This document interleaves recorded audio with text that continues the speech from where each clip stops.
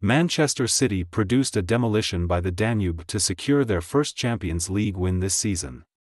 In a mismatch of embarrassing proportions for UEFA. The champions of England left the champions of Slovakia wishing they hadn't qualified for the competition in the first place. Bratislava is known as the Little Big City. And it was blindingly obvious who were the giants and minnows in the Slovakian on Tuesday. To put the game into context, the biggest transfer fee Slovan Bratislava have ever paid is just £850,000, which Erling Haaland earns in less than three weeks.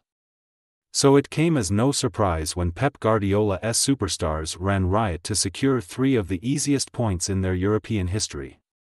This might have been City's first ever game in Slovakia, but it was the host's first home match in club football's greatest competition. And the Slovakian novices had to get through eight games and four qualifying rounds just to book a place in the league phase. Which made them huge underdogs against the 2023 winners.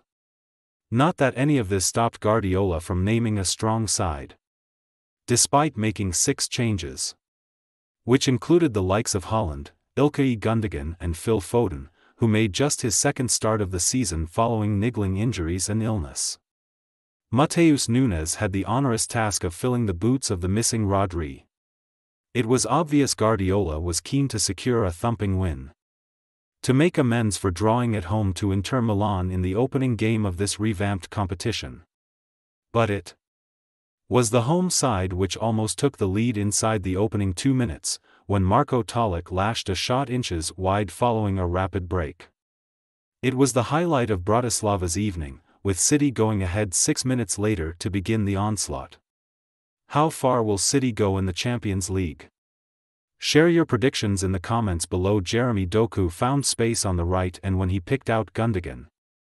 The City captain lashed a deflected volley past Dominic Tokak.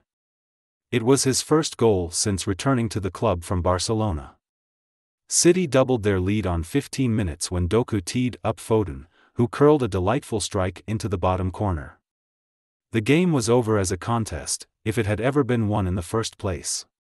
It felt like a bit of a farce instead. Because Guardiola's men looked like scoring at will and queued up to do so. Doku, Foden and Gundogan all hit the woodwork. While Tokak denied Rico Lewis and Haaland. It was like watching a cat maul a ball of wool, and Guardiola might as well have lit up a cigar in the dugout. There was nothing Bratislava could do about it. City had 13 attempts on goal before half-time. And the only shock was it remained 2-0 and Haaland hadn't scored.